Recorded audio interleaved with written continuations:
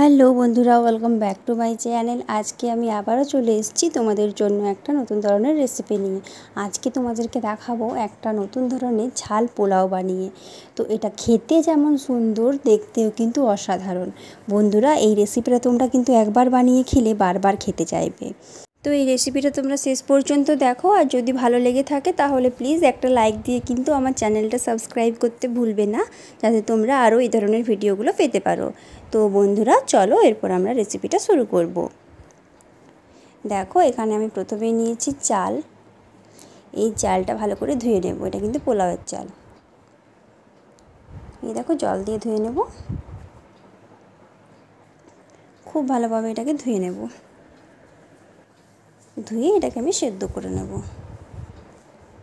তো দেখো বন্ধুরা, চালটা আমি সেদ্ধ করে নিয়েছি। ঠিক এইভাবে সেদ্ধ করতে হবে। খুব বেশিও সেদ্ধ করা যাবে না, আবার খুব কমও সেদ্ধ করা যাবে না। তো দেখায় কতটা চুরচুরি হয়েছে। এই দেখো বন্ধুরা, চালটা সেদ্ধ হয়ে গেছে। এখানে নিয়েছি টমেটো কুচি, নিয়েছি পেঁয়াজ কুচি, বড় বড় কেটেছি পেঁয়াজটা, আর লঙ্কা কুচি নিয়েছি। এখানে পেঁয়াজটা আমি একটু ছোট ছোট কেটে নিয়েছি। দেখো, এখানে আমি সাদা তেল, গরম হতে দিয়েছি, এর মধ্যে দিয়ে দিলাম ফোড়ন, তারপর পেঁয়াজ কুচিগুলো দিয়ে দিলাম। পেঁয়াজ কুচিগুলো কিছুক্ষণ ভাজতে থাকব। একই সাথে দিয়ে দিলাম টমেটো কুচি আর কাঁচা লঙ্কা কুচিটা। এটাকে ভালোভাবে ভেজে নিচ্ছি। দেখো, দেখতে কত সুন্দর লাগছে। এরপর কিন্তু সেদ্ধ করা জল ঝরিয়ে রাখা চালটা এর মধ্যে আমি দিয়ে দিলাম। চালটার সাথে কিছুক্ষণ ভাজবো। যদি গ্যাসের ফ্লেমটা লো করে করো, তাহলে কিন্তু খুব সুবিধা হয় বন্ধুরা। তোমরা কিন্তু ফ্লেমটা লো করেই করবে।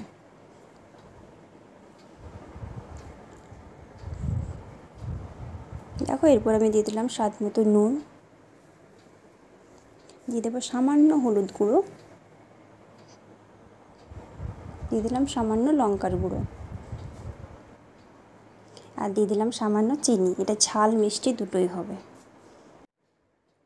এভাবে কিছুক্ষণ ভাজবো, এরপর এটাকে নামিয়ে রেখে নেব আমি। এই দেখো, এখানে নিয়েছি ডিম। ডিমটা আমি নুন দিয়ে ফেটিয়ে রেখেছি। এরপর আমি এটাকে ভালোভাবে ভুজিয়ার মতো তৈরি করে নেব।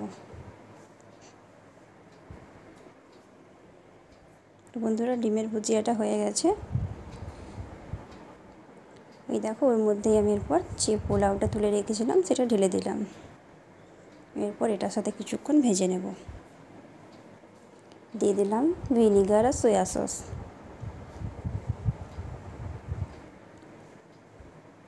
এরপর আমি দিয়ে দেবো টমেটো সস আর চিলি সস।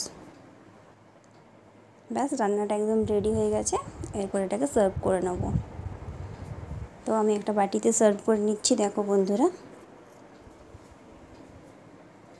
তো এই দেখো, তৈরি হয়ে গেছে আমাদের আজকের রেসিপি পোলাও।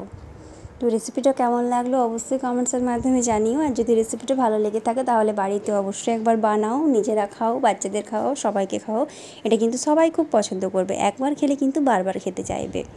তো ভিডিওটা ভালো লাগলে অবশ্যই একটা লাইক দিয়ে কিন্তু চ্যানেলটা সাবস্ক্রাইব করতে ভুলবে না। বন্ধুরা, তোমরা প্লিজ চ্যানেলটা একটু সাবস্ক্রাইব করে আমার পাশে থাকো। তো দেখা হবে পরের কোনো ভিডিওতে খুব ভালো থেকো তোমরা।